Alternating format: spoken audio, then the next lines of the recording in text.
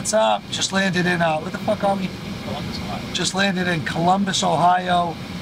Opening day of a new business, White Light Behavioral Health, uh, which is our first operating company subsidy of a, a treatment business I launched uh, shortly after selling my last one called Treatment X.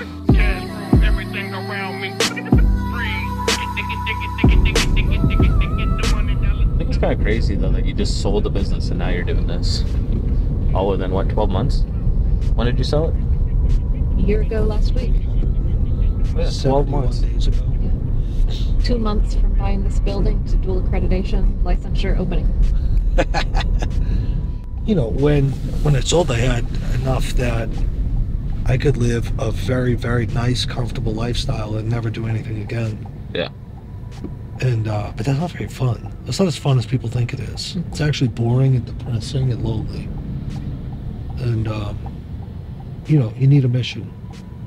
You need a purpose. You gotta wake up every morning and make the donuts. You know. Why don't you tell them where we were right after we closed? This is yeah, that's a funny story. So we closed, right? We transacted on December 21st. And you see how cold it is here. It's the same thing in New Hampshire. And the next morning we woke up at like 5 and drove to Fall River, Massachusetts, the middle of nowhere, to go look at commercial real estate, this old mill building we were going to tear down No and build apartments. Yeah, it was funny. I was Big wind. it was like 8:30 in the morning, and Lori and I are standing outside freezing, and um, and I'm holding like a hot Dunkin' Donuts coffee, like less than 20, literally less than 24 hours after selling my business and Yeah. seeing a enormous wire hit the account. And I looked at her, and looked, I was like, "What the fuck are we doing here? we should be on like on an island or something, you know?" Yeah, you didn't even celebrate, did you? You just went right into real estate stuff. Never took a day off.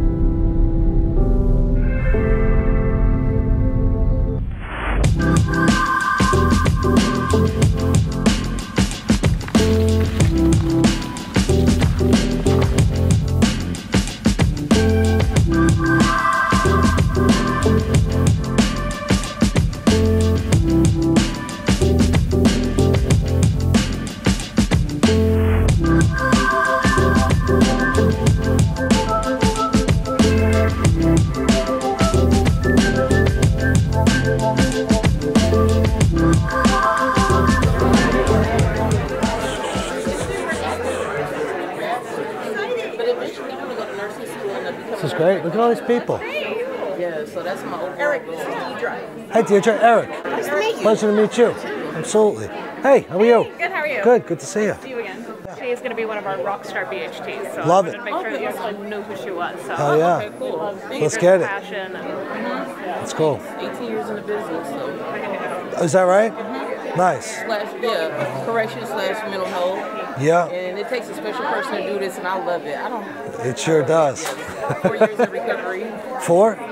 Nice. I just celebrated 16 December. Oh, awesome! Congratulations. Yeah, thank So you. this would be my birthday is Thursday, so this would be my fourth birthday sober. Crazy, right? Yes. Um, Elisa says we're about 20 short. I don't know what roles yet. I just heard that from Danielle. Okay. First day of work, though. You, you, first day of work, you deal with bad roads. You're going to lose more. That's the Yeah, problem. I know. I know. Uh, my name is Eric Spofford. I'm in recovery 16 years. I celebrated that. Thank you. I grew up in a town called Salem, New Hampshire. It's right on the Massachusetts line. It's about 30, 40 minutes north of Boston. I grew up uh, in a blue collar, middle class family, stay at home mom. My dad wore work boots every day of his life. He cut down trees for a living. Uh, we always had enough, but we were certainly not wealthy by any means. But I never missed a meal, right? I, uh, at a young age, my, my, my household started to fall apart. My parents uh, had a lot of marital issues. It became a crazy environment. Uh, at, at around fifth grade, I started to experiment with smoking weed and drinking booze. Um, you know, I I think there's a lot of different philosophies and ideologies on addiction and alcoholism, and we'll get into that later this afternoon in that session. I think that some people do not have this condition, this illness, but can drink and use themselves over an invisible line that they never come back from. And once you are, you are never not, right?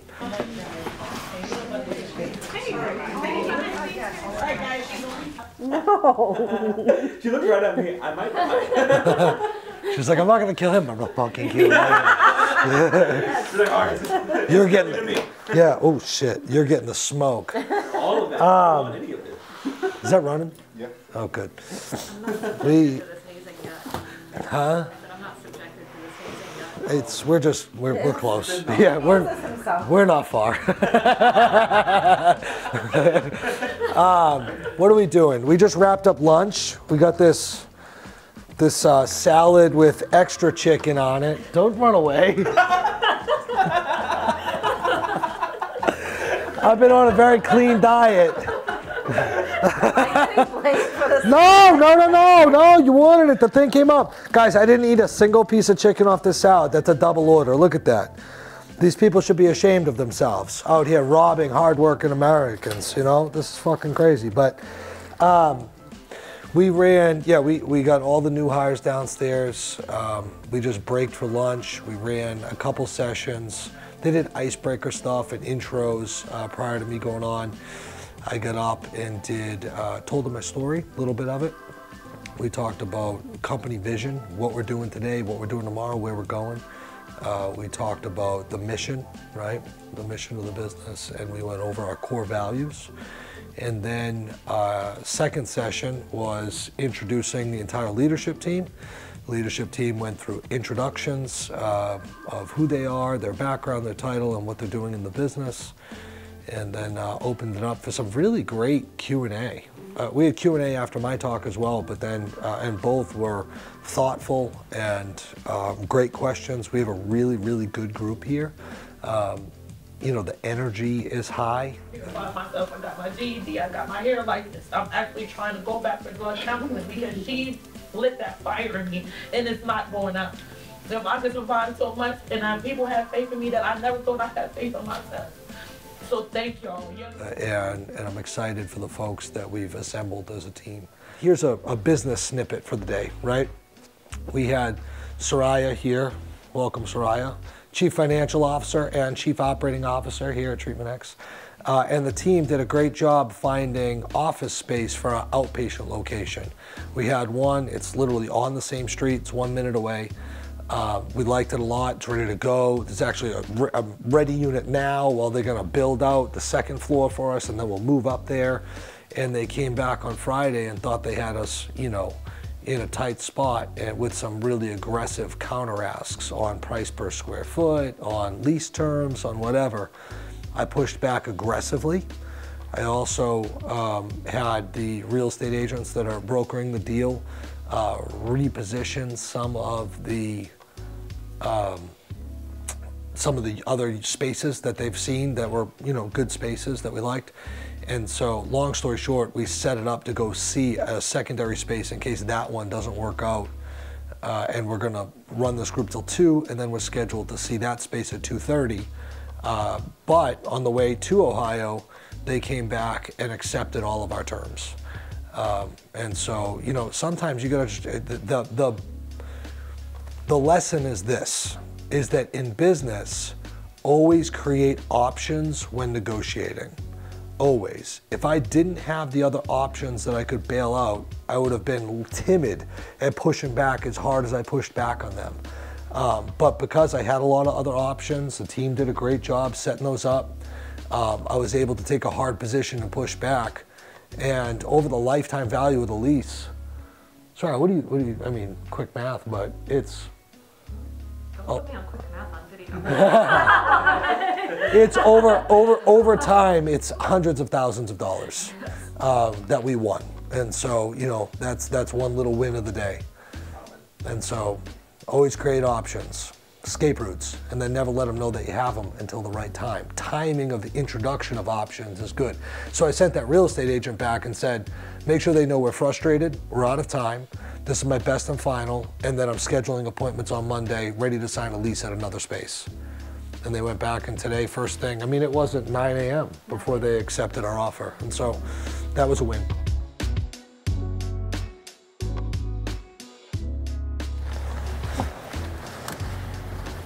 All right. So, Lori, the favorite. uh, killer day. 2400 here. Great couple sessions with the group here.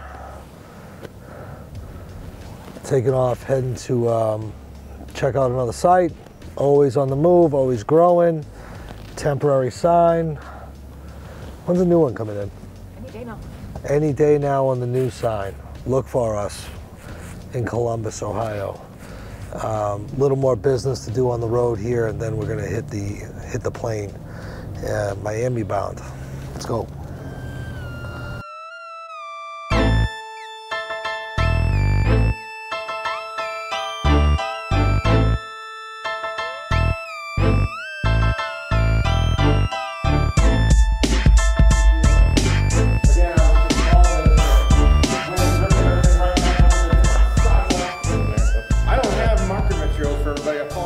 Set this up last moment. So I- That's all right. should we just start down here and work our way around? A born hustler, mom engraved me with the words. She always told me I was perfect, son. Go get what you deserve. There's winners and there's losers. Stay upon the former king. Bite your tongue for not a assaulting. Fuck opinions till it stings. Oh, see, ain't nobody gonna hand you no help. And ain't no cosigns or label, mom. I did it myself. Ain't no complaints on my side. Ain't no excuse I could blame. I cut the grass to view the snakes, but yet I treat them the same. Remaining humble case I stumble, yet they still say I changed. Don't force my hand, I let it spin until they brain rearrange. And artists of the century, a man they told you look up. The one that swing his words like Spartan swords, still God say enough. I never Pleasure to meet stop unless he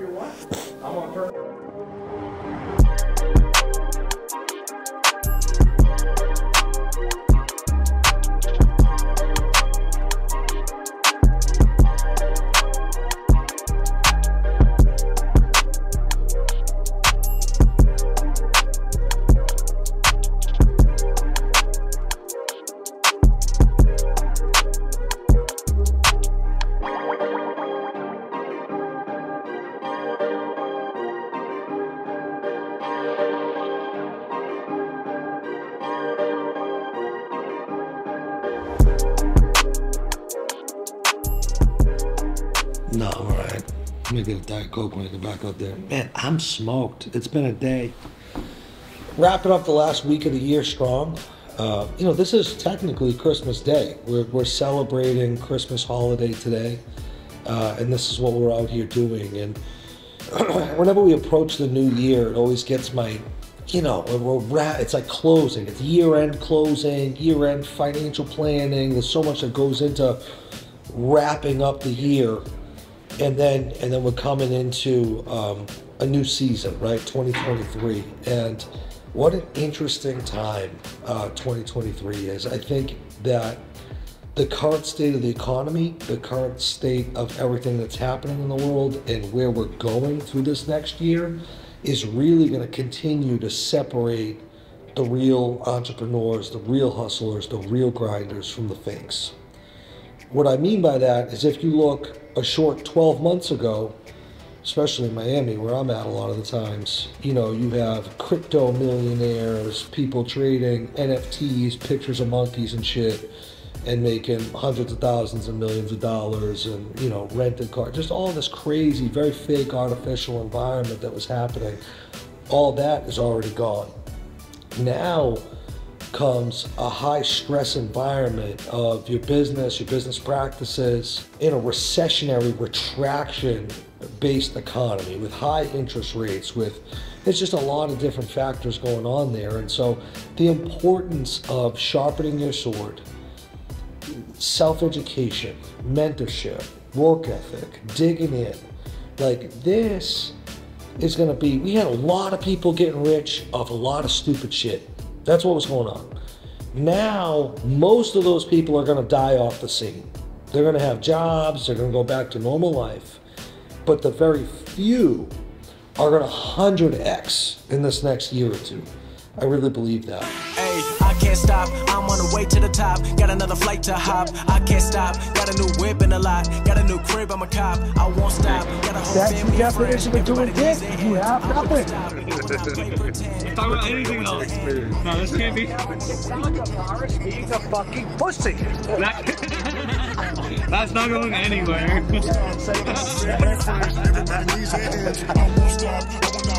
Yeah, yeah, eight years I've been building up, still 24, that's Kobe Love. Graduated my second school, I did it all, can't get enough. Moving out to Miami though, it's floor to ceiling my windows. Ten Latinas be running around, I tell them all, let's bomb Biggest thing in my city, get rich or die like 50. My parents